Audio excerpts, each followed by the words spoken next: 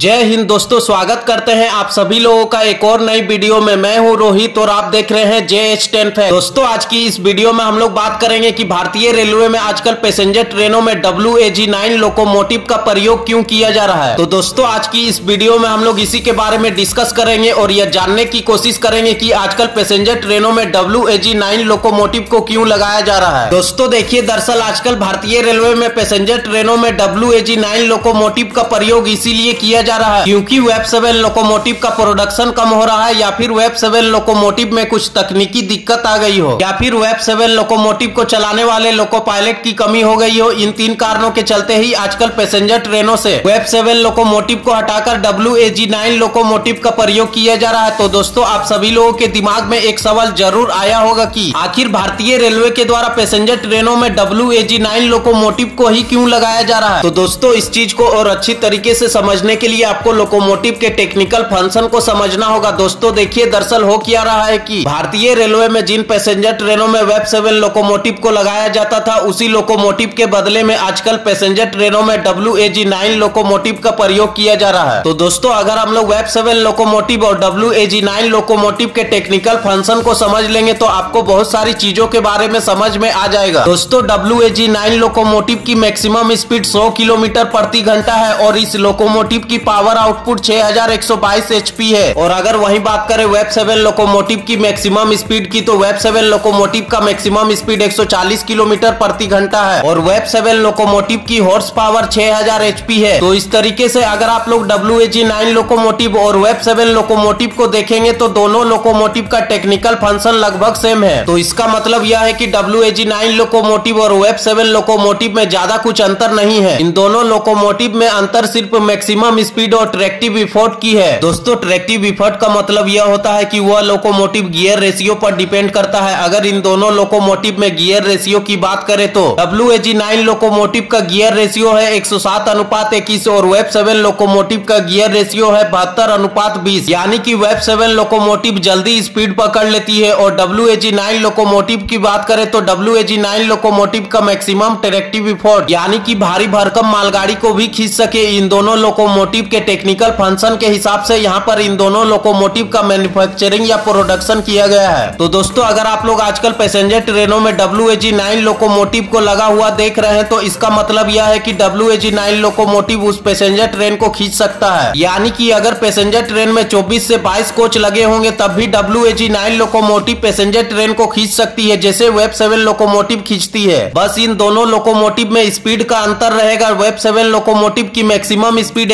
140 kilometre प्रति घंटा होती है और वही W A G nine locomotive की मैक्सिमम स्पीड 100 किलोमीटर प्रति घंटा होती है। तो दोस्तों, इसीलिए भारतीय रेलवे जिन पैसेंजर ट्रेनों में 20 से 22 या फिर 18 कोच लगे होते हैं तो इन पैसेंजर ट्रेनों में आजकल भारतीय रेलवे के द्वारा W A G nine locomotive का प्रयोग किया जा रहा है। क्योंकि W A G nine locomotive heavy load वज़न को भी खींच सकता है तो इन सब चीज़ों को देखते हुए आजकल भारतीय रेलवे के द्वारा पैसेंजर ट्रेनों में W A G nine locomotive को लगाया जा रहा है। और भारतीय रेलवे में वेब सेवन लोकोमोटिव के मुकाबले में W A G nine locomotive की संख्या ज़्यादा है, इसीलिए आजकल पैसेंजर ट्रेनों में W A G nine locomotive का प्रयोग किया जा रहा है। तो दोस्तों, आशा करते हैं कि आपको इन सब चीज़ों के बारे में अच्छी तरीके से समझ में आ गया होगा। तो इस वीडियो में बस इतना ही। अगर आपको ये वीडियो पसंद आई हो तो आप लोग इस वीडियो को लाइक करके चैनल को सब्सक्राइब करना ना भूले। तो दोस्तों, मिलते हैं इसी तरह से एक और नई वीडियो के साथ। तब तक के लिए धन्यवाद।